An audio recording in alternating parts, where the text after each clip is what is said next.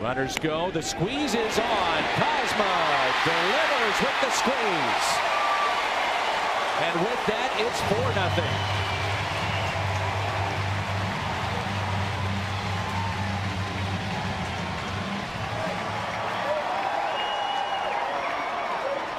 everything done perfectly on this squeeze, including Dan McLaughlin stealing the sign and knowing that it's coming.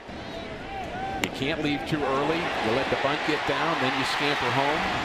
And from the hitter's point of view, just bunt it fair. It doesn't matter where it is. But Kozma gets a little more than that as the ball gets past Lohse. He tries to make the